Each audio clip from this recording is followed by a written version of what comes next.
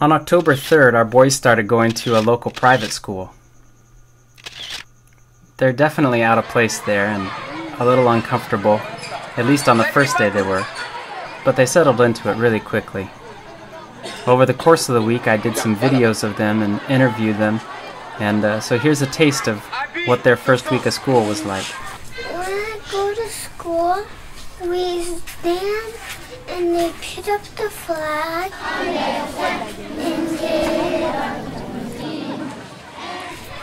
We go to our classes. And then we sit in there for a while. On an average day, my teacher teaches my class zero minutes.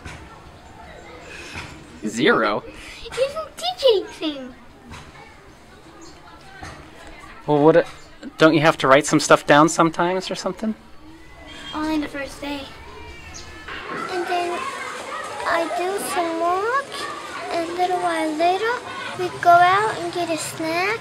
And then we go back into our classes. And we do a little more work. And then we wait a little while and we go home. The teacher we left a teacher or a room Zach's at that stage where his grasp on reality is pretty loose, so just about everything he says here is not true. After that first day of school, when our friend told us that Zach had cried most of the day, we decided to ask Harley if she'd be willing to go back with him. To our surprise, she was happy to go, and she's gone every day with a smile on her face. It's the first time I went to school and Kadiolo. A baby just walked right up to me and bit me right on the hand.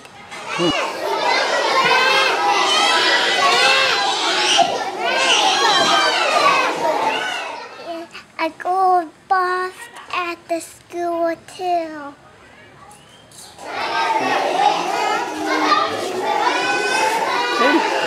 they had they colored our finger and gave us a drop of medicine. Boy.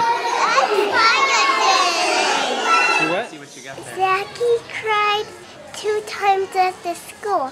It wasn't very much, but Zachy thinks he cried a lot. Yeah. When the kid, when he disciplines them, he used to use a ruler, a wooden ruler that doesn't really hit that much. Now he uses a stick. Are you afraid of getting hit with a stick? That's why I only talk like this, and everybody else going, ah! And do our work, when we're finishing copying the blackboard, we take it to the teacher, and if the bad, if it's bad, she hits them with some rubber. And if it's good, she does nothing. Unfortunately, violence is the standard in the schools here. Everybody hits everybody. That's just the way it is. We heard that recently a law was passed in Mali that teachers are no longer allowed to hit children for poor classwork, only for discipline. So that's a step in the right direction. The first week at any school is a little rough. I think it's better now. Classes are smaller, the teachers are giving more work, and the kids are a little less rowdy. It threw us off a little bit when we found out that they had given our children a oral polio vaccine without asking us. But we're sure that God's taking care of our children, and it's a small price to pay for building relationships with people that we might be able to lead to Christ.